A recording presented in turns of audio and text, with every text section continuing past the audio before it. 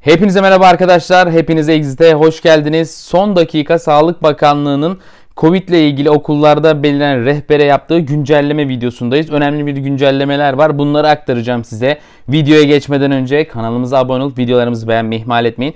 Bu tip benzeri son dakika önemli gelişmeleri sizinle hem sohbet ortamında haberleştiriyoruz hem de konuya ilgin görüşlerinizi yorumlarda bekliyoruz arkadaşlar. Şimdi rehbere eklenen durumda arkadaşlar okullarda COVID-19 pozitif vakası çıkması durumunda yapılması gerekenleri uygulama bölümünde bir veya birden fazla COVID-19 vakasının tespit edildiği okul servisleri ve sınıflarda maske kurallarına uyulduğu ve uyulmadığı durumlarda yapılması gerekenler detaylıca anlatıldı. Çok güzel örnekler de var. Örnekleri de size aktaracağım. Tüm okul çalışanlarının aşılarını tamamlaması tavsiye edildi rehberde. Sınıf mevcutlarının sosyal mesafe kurallarına uygun şekilde planlanması önemli vurgulandı arkadaşlar.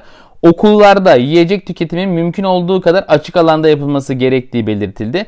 Sınıf içinde yapılma zorunluluğu ise tavanı yüksek olan havalandırmaları iyi şekilde sağladığı ve kişiler arası mesafenin sağlandığı alanlarda yapılması önemli belirtildi. Maskenin çıkarıldığı sürenin kısa olmasına özen gösterilmesi ve maskesiz öğrenciler arasında mesafenin korunmasına dikkat edilmesine yönelik açıklamalarda bulundu arkadaşlar. Aynı sınıfta 10 gün içerisinde birden fazla vaka çıkması durumunda sınıfların tüm öğrencilerinin yakın temas olarak kabul edilmesini ve evlerine gönderileceği hatırlatıldı. Ayrıca Sağlık Bakanlığı ve Milli Eğitim Bakanlığı tarafından önerilen enfeksiyon kontrollerini önemleme, tam uyumun olmadığı durumlarda bir pozitif vakanın tespit edildiği sınıftaki tüm öğrenciler ve öğretmenlerin yakın teması kabul edileceği altı önemli çizildi arkadaşlar.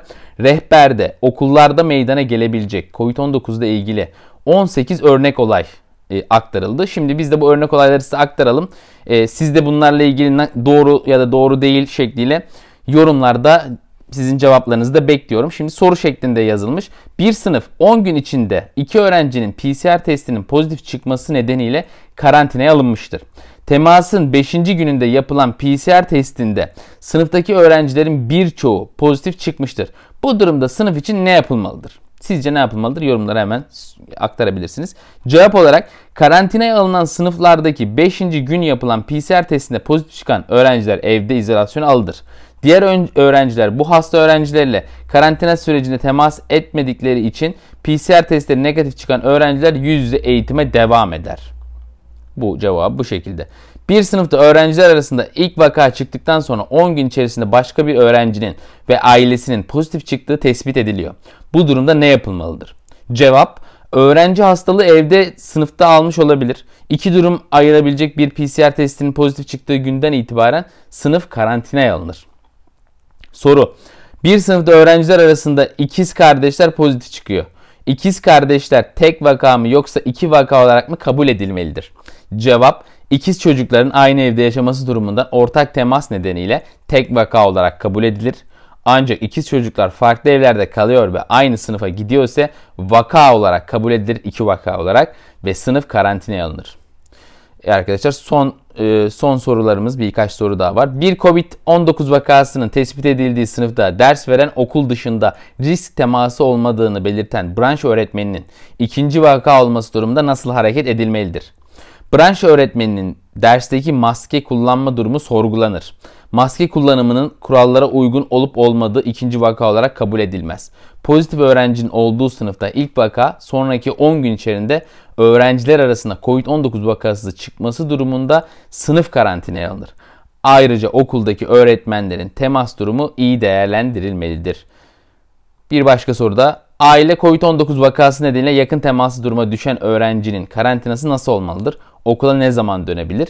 Ailesinde COVID-19 tespit edilen öğrenci yakın temaslı kabul edilir.